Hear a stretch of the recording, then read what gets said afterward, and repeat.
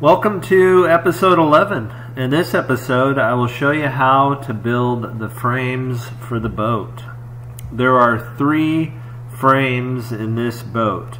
A forward frame here, a mid frame here, and an aft frame right here. All three frames are fabricated and installed in a similar fashion. If you know how to make one, you know how to make all three. Uh, let's jump right into it. The, each frame is composed of a bottom timber and vertical side frames. So I will try to call these bottom timbers. They're 4x4 posts and frames. These are two by made from 2x6s. In the previous episode, we faired the chine logs. These are the chine logs attached externally here. We faired these to receive the bottom planking, which is going to be plywood. The plywood will span from side to side, and it's four feet wide. At each seam between the plywood sheets, imagine a, a sheet of plywood laying across here, there will be a seam right here, four feet forward of the transom. So underneath that seam, we want to install our 4x4 bottom timber. I do not have a picture of it, but what I did was I laid a sheet of plywood across the boat so that its long edge was flush with the aft end of the transom right here. And then I took a pencil and scribed a line where the other edge uh, landed across each chine. That would indicate where the center of our aft frame bottom timber should be. Then I slid the plywood four feet forward and marked the lines, uh, the edge where the, uh, the other edge, the forward edge, landed across the chines. And then I slid it forward four feet again and mark the edge and that would be where the forward frame, the center of the forward frame should be. Here are the resultant marks locating the center line for the forward frame. So here's a mark here and here's the mark on the other side. This is where the edge of our plywood will land on the chines. So this is where the center of the forward bottom timber needs to be. The goal is to install that 4x4 timber right across here, flush, the top face of it flush with these chines and centered on those marks. Begin by laying a 4x4 of sufficient length across the boat and place its forward face even with those marks. Slide your combination square, or any square really, along the top face of the 4x4 until its 90 degree edge just touches the inside edge of the chine. And make a mark along this side of the rule. There's the mark there. Without moving the 4x4, make a similar mark on the other end over, over here. Next, use the square to transfer this line across the top face of the 4x4. Like this. This is a rotated view. Uh, you then want to mark the center line of this line that's across the, the top face. Uh, if you have a net dimension of three and a half inches, then you'd go an inch and three quarters in from either edge and that should be your center. Mark the center line you just made across the top face and this point here, right where my laser pointer is, that will be the end of the bottom timber at its top face uh, at the chines. Because the sides have curvature, uh, the end of each timber will have to have a corresponding bevel. Here I am using the bevel gauge to get the angle between the timber and the chine. Remember the sides are sloping in as they close in on the stem at the at the pointy part of our boat, the bow. And so there's an angle here between the sides, the curvature of the sides, and our timber that goes across the boat. So I'm just using this bevel gauge, pushing this end of it against the, uh, the timber, and then rotating this until it contacts the side of the boat. It gives me that angle. We want to, well, we want to transfer the angle to the top face. Uh, make sure that angle intersects the center line mark we made, that point right there. The center line of our mark must go through that center line. Now we know where to cut the timber across this entire top face. It's this line right here. Because the sides also flare out as you go up uh, vertically, uh, there's one more angle we need to complete the layout. Here I am using the bevel gauge to get the angle between the timber, the bottom timber, and the side of the bow. And I've already taken the liberty, this shot, this picture was taken after I'd made the mark, and that's it right here. So on this forward face of the bottom timber, you want to make a mark. Remember this was our bevel across the top face. You want to make this angle start from that point and go down. And on the aft face, you want to start at this point and go down.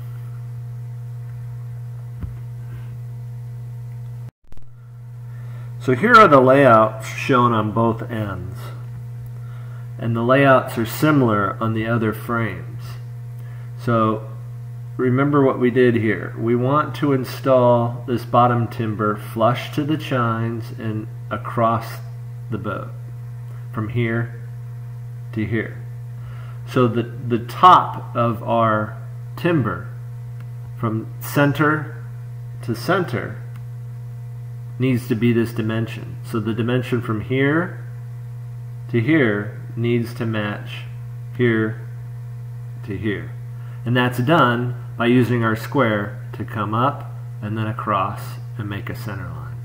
And then to get the angle of the sides, you see the sides are coming in, that's this line here. This line is parallel to this. Likewise, this line we made through that center line mark is parallel to this side. And then these lines match the flare. The flare is the angle of the sides of the boat. And that's what these lines are. There's one here and I've marked one in the back right there. Same thing over here where this line right here is this flare. And there'd be a line over here in the back. And so it has to fit, right? In theory.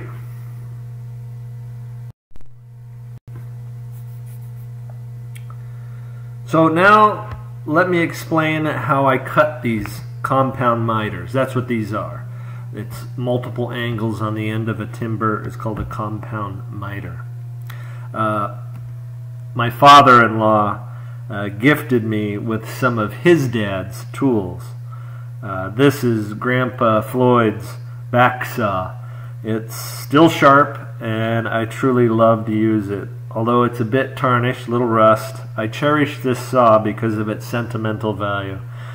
Back saws have this stiffener running along the top uh, down their length. It keeps them from flexing. So they're really made for doing precision cuts, which is what we're doing here. I begin with a very shallow cut across the top face along the line. Obviously, I'm not cutting it like this. I'm holding the saw along the lines and then using my right hand, which is my cutting hand, to take the picture.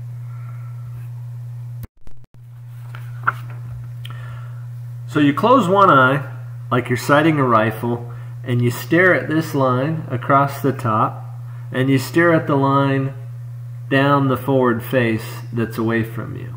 So you're leaning over and you're sighting down this line and you're also looking at this line. and you start cutting this corner, running the back saw evenly down this line as you're going down this line.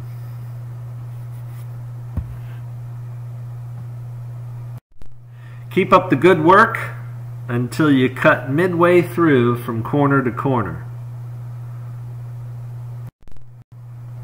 Now keep the front of the saw tilted up and buried in your cut. Don't take the handle and rock it down because you want to cut this side of the of the timber. Keep it angled up the way it is so it's deeply buried in that cut and that'll be used as a guide. So then you slowly bring the back edge of the saw just looking at this line and let it cut right along that line. Don't let the end snap off. Here I supported it with my workbench to finish the cut. There it is. With practice, this becomes second nature. Even though we're in a world dominated with power tools, knowing how to use hand tools is still important. I remember when I was 12 years old and my dad asked me to build a fence for one of his rental properties. My dad insisted I build everything with a handsaw and a hammer, no power tools. I wonder if he was trying to teach me something very valuable at an early age. Maybe he just wanted to give me a workout or make sure I came home to mom with all my fingers. Uh, it's probably a bit of all three of those. So there is the forwardmost bottom timber laying across the boat with both ends cut. Amazingly, this will fit down in there. It looks way too long, but remember our sides flare out, so it's narrower at the top, and uh, it's got to be wider down at the bottom.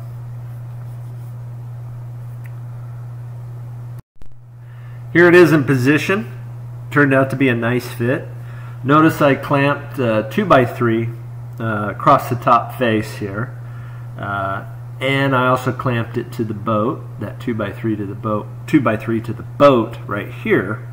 And this just keeps the frame in position and keeps the top face flush with these chines so the plywood will lie on there nice and flat. The plywood we're installing on the bottom. So here's a close-up. Uh, since we are using epoxy, which is gap filling, your cuts do not need to be this precise. It's acceptable to have some gaps, some pretty ugly gaps. So don't don't sweat it if yours don't come out real nice. I attached the frames to the sides with four 3-inch long deck screws through each end, through the chine, through the plywood, and right into the uh, posts here. Uh, the bottom timbers for the mid frame and aft frame are very similar.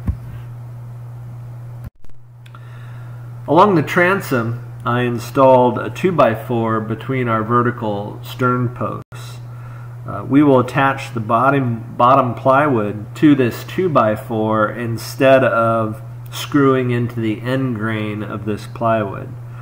So now was the time to plane this corner down flush with the surrounding uh, timbers. And I chose the therapeutic option and did it uh, with a freshly sharpened block plane. And voila, nice and flush. Next, I decided to drill the limber holes for the bilge. Uh, limber holes are drain holes.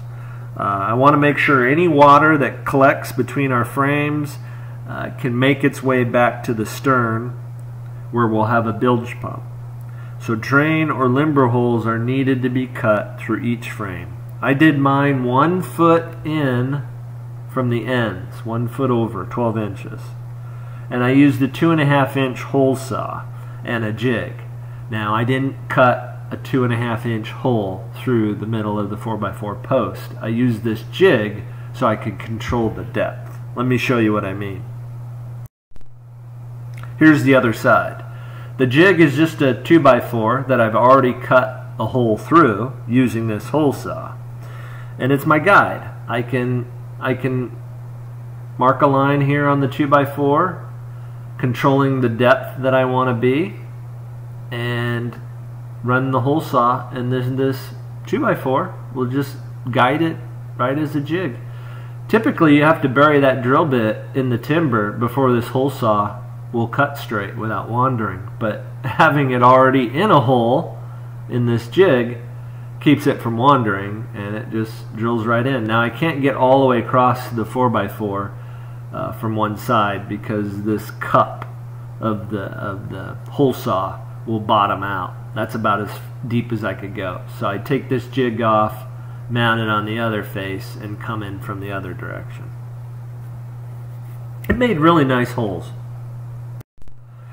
I also used some 3M spray adhesive to stick a piece of 80 grit sandpaper onto this 2 inch diameter PVC pipe. I just used this to sand the rough edges uh, of each limber hole after I was done cutting. So here they are. I just cut one limber hole at the center of the forward frame and then you you got um, one foot in from each side for the other limber holes. Now notice this picture already shows the vertical frames, the side frames, installed. So let me show you how I installed them at the forward position here. And the other frames are very similar. I began with select structural graded 2x6 lumber. I cut a 3 foot length.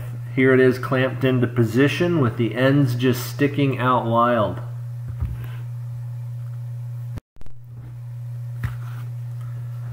Here's a close-up. The edge of each vertical frame will have a bevel. Because the sides are sloped here, the curvature of our sides, our vertical frame has to match that angle. And it's just a constant angle that's ripped down the full length of the frame.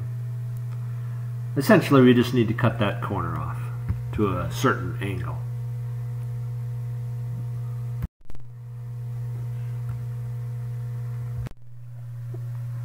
Here is a, another view of me getting that bevel angle between the frame and the side panel of the boat. I then use my chop saw as a calculator to find the complementary angle. In this case it was 24 degrees. I then set my circular saw to 24 degrees and ripped the corner off the 2x6 down its entire 3 foot length. I did not make the cut with this chop, chop saw. I'm just using it as a calculator. Here it is installed after rip cutting the bevel. Turned out to be a nice fit. With the vertical frame clamped flat to the forward face of the bottom frame, right here, this vertical frame is clamped to this bottom timber. That's going to determine how this frame rests against the side. And I just clamped it down here so I could drill the screw holes three inches on center. When I installed the frame on the other side, I made sure the distance back from the bow was about the same. Here it is dry screwed into place using 2 inch deck screws, 3 inches on center. Next I climbed under the boat and clamped a 2x3 across the frames like this. I used a T-square, that's this metal piece sticking down here, it's just a drywall square. I use this to transfer the center line on the bottom frame, or the bottom timber, down onto this 2x3 cross brace. I then measured over from this center line an equal distance on each side. So from here, I made equal distance marks, three of them here, and I made three of them here. I think I made the first one at 15 and a half inches over from the center line and then 16 inches and then 16 and a half inches. And then I just spread the sides of the boat apart a little until the curvature of the top edge of the boat, which is the bottom because we're building it upside down, uh, looked right to my eye. And 16 and a half inches from the center line looked good. Here's a view of that T-square sitting on the bottom timber and then coming down to our cross brace. This is just some temporary bracing. You can ignore that. So I spread the side panels out until this inside edge of the side panel just lined up with this outer mark at 16 and a half inches. Then I attach the cross brace with two screws. I did the same thing on this side. I then attached each vertical frame to the bottom timber, to the floor timber, with four 3 inch deck screws. And these corners that are sticking up, I just cut those off right in position with a handsaw. I just laid the handsaw right across the bottom timber, slid it back and forth, and cut, cut these off flush. Here it is. All the offending corners have been removed. Along the sides, I marked the frames so they would extend beyond the sides four inches. So from the, the top edge of the side here down is four inches. The same thing over here, four inches down. Drew a line across and then squared it off. So here's another view of those marks. So four inches down from the plywood and then just made a 90 degree mark. I'm going to cut off these frames right along that mark. And I'll cut these cross members off with a handsaw, just here and right here, right along flush with the outer side edge of those frames. I use my circular saw freestyle to cut off each vertical frame and use my handsaw to cut off the cross frames and here's the result. Recall the five and a half inch wide sheer clamps, this, this upper rail right here, this timber that runs around the uh, outside top edge of the boat. They stick above the top edge of the plywood by about four inches. I actually chose to extend the frames four inches above the plywood and the sheer clamp will stick up four and a quarter inches. So there'll be a quarter inch reveal uh, above the frames. Now, because the sheer clamp is attached to the plywood here, there'll be a gap between the frame and the sheer clamp, and we need to fill that with half inch, a half inch thick shim. The same thickness as the, the side panels. So there'll be a shim here, a shim here, a shim at the stem, and a shim between the stern posts and the sheer clamp. Here's the shim at the stern posts. I just fabricated these from the same plywood we used to make the side panels. This little notch here is just following the profile of our transom and then the edge of the stern post. There is the shim for the aft frame and this is the cross member that ties both vertical frames together and it's just cut off with a handsaw. There's the shim for the mid frame. There's the shim for the forward frame. And there's the shim at the bow on the um, stem.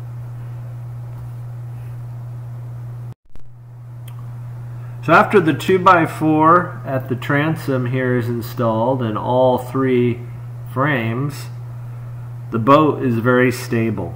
All the temporary bracing and the temporary frame can be removed. Uh, at this point the boat's looking pretty clean. But none of the bottom frames or the bottom timbers and these side frames have been epoxied in yet. So now is the time to do that.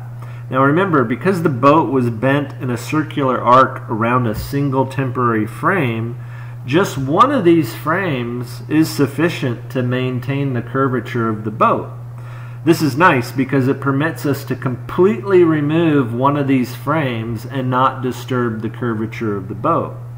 So we can take out one of these frames, literally take out the screws attaching the plywood side to the vertical frame here, the four screws that attach into the posts and the on each each side and the whole frame just drops right out all in one piece. Now I recommend doing only one frame at a time so take this one out leave the other two in epoxy this back in place and then go on to doing this one. To prove it, here's the aft frame removed. Notice the curvature remains. It's bent around this frame and that's sufficient to keep the curvature. I made a few pencil marks of where that frame uh, lines up so I can get it back in place and also I know where to put the epoxy. Now on the bench I epoxied each vertical frame to the bottom timber and then reassembled the frame on the bench and then lathered up, buttered up both sides of it with epoxy and then installed it back in the boat. Here is a shot showing the aft frame right here and the mid frame after epoxy. Here is the forward frame after epoxy. And there you have it. All bottom timbers and frames are installed. We are making fantastic progress. So thanks for watching. Until the next episode, may God bless you, my friend.